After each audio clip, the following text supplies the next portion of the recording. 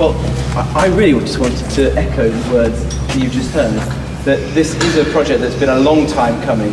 Many people across the town, um, Kareem as much, if not more than anyone else, and your government, fought for this uh, school to be built.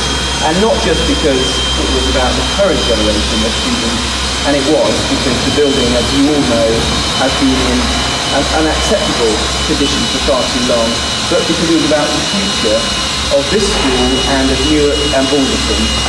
We all believe passionately that Newark deserves to have at least two excellent, outstanding schools that serve the young people of this town, that ensure that young people and their parents can come to school here in the town, to not have to travel outside, and that the future aspiration and success of the town can be set here in the town by two really superb schools.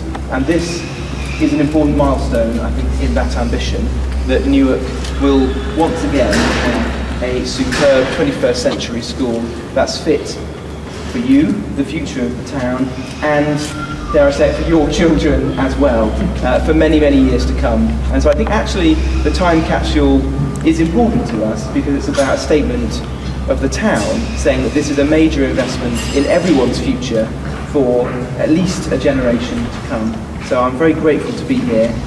Good luck. I hope you do come to the school and that you enjoy your time here. It looks like it's going to be an amazing building uh, that we can all be proud of. So please go home and tell your friends as well that this is a great school that you really enjoy coming to. We will all look forward to being here in early January to open the doors and see people coming into the kind of school that Newark deserves and has waited perhaps too long for. It will be a huge addition to the town.